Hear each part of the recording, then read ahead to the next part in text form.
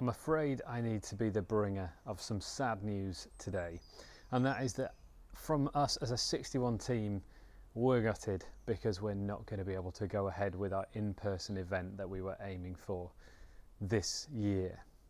We are hoping to be able to do that next year from the 4th to the 7th of August in 2022, but for this year, we have tried our best. We have done all that we could possibly do to try and make this happen. And I know that lots of you are with us in that, and you'll be disappointed just like we are. But I'm, and so I'm so sorry if that's where you are at. But sadly, we can't make the in person event happen this year. There's a number of reasons for that, uh, and without going into them in huge detail here, uh, they are to do with people not quite booking at the rate we probably needed to see across New Wine and also for 61. But it wasn't just that, to be honest. The government has uh, laid out a plan in its roadmap that would suggest that we can meet in big groups by August.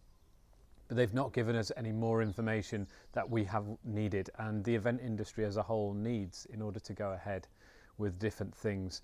Uh, and so we just are now at the place where we don't know whether there will be any need for mass testing. We don't know if there will be a need for um, passports, vaccine passports, uh, and we equally don't know whether the medical staff will be released from their NHS duties, which they're currently uh, in, in order to volunteer to help an event like 61 happen. We haven't got clarity on that. Uh, there's also a chance that the council might cancel the event, uh, which they have the power to do, and we, we haven't got enough confidence that they won't do that. It's a huge uh, disappointment for lots of us. Um, perhaps you're in that place too, and if you are, I'm, I am sorry. Um, we will be seeking to do this long term, so stick with us if you can in the medium to long term, because we believe the Spirit of the Sovereign Lord is upon this generation that God has got great plans for students and young adults.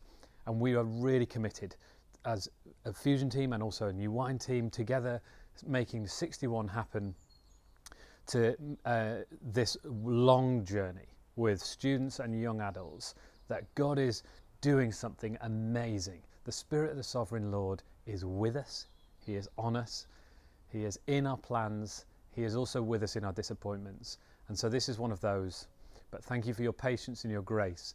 You will, if you have already booked, uh, receive a full refund. We'll contact you about that, so you don't need to contact us. We'll get in contact with you to arrange how to do that. Thanks again for your patience, and we'll be with you soon with more information.